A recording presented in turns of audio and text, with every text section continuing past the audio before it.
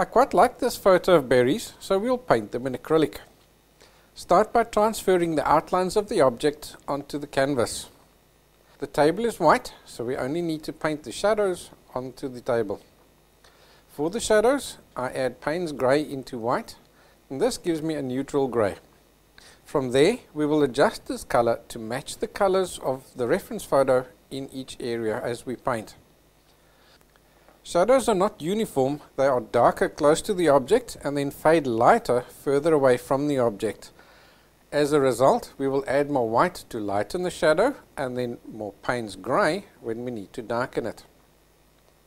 Even though the table is white and its natural shadow color is grey, if you look carefully at these shadows, you will however notice that they have hints of color in them.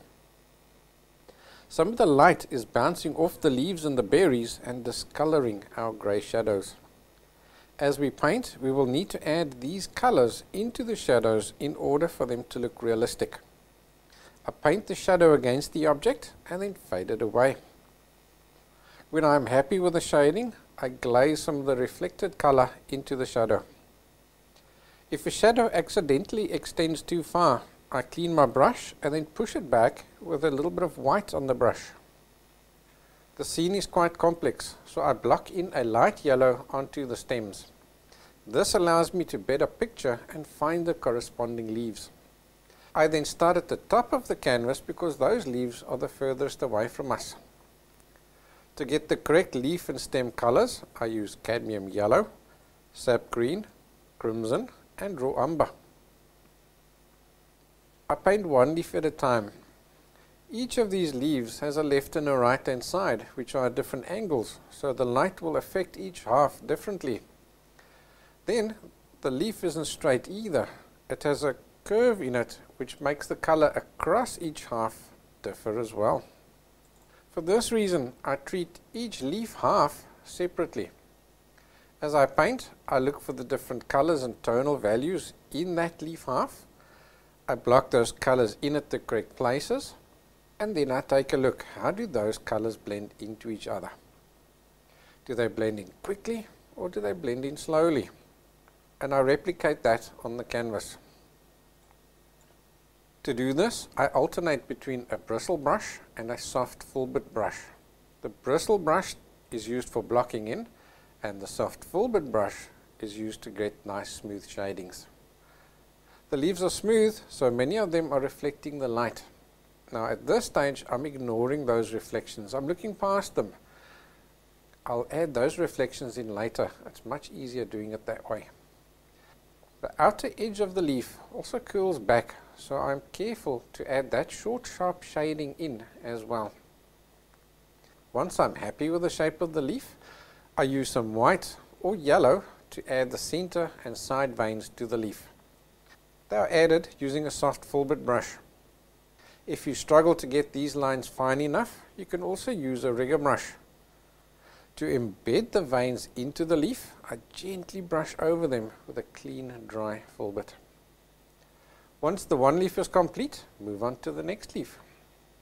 As you do, pay attention to the colors in the leaf. Depending on the age of the leaf, its colors will vary. So these color differences help to separate overlapping leaves.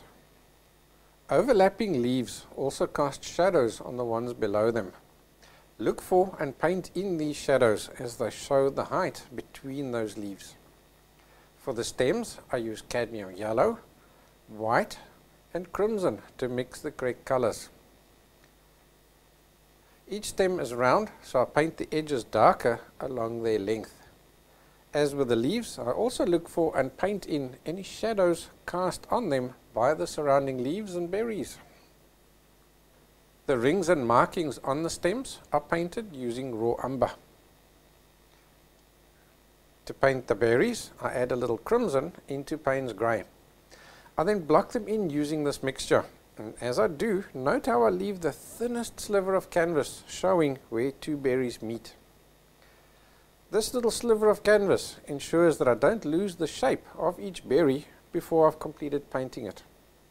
The berries are smooth and shiny, so we will show their shape by adding their reflections in. Before doing this though, dry the painting with a hairdryer.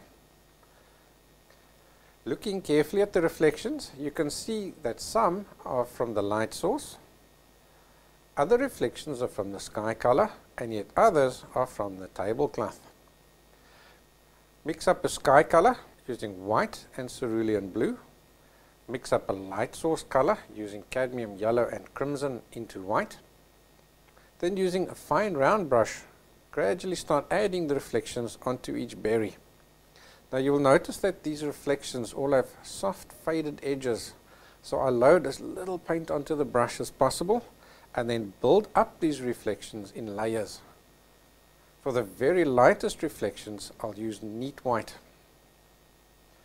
Only once I'm happy with the shape of the berry do I paint the thin canvas edge closed. I suggest the dimples on the berries using the berry color for the shadow and a light yellow for the highlight. Dry the entire painting again, then using the sky color, add the reflections onto the leaves. As with the berries, I build these reflections up in layers, using very little paint on the brush at a time. It's easy to overdo these reflections, so only add the major ones to each leaf. And with that, the painting is complete. If you'd like to try your hand at this painting, you can follow the real-time paint-along version on our website onlineartlessons.com. Please like and subscribe. Thank you for watching.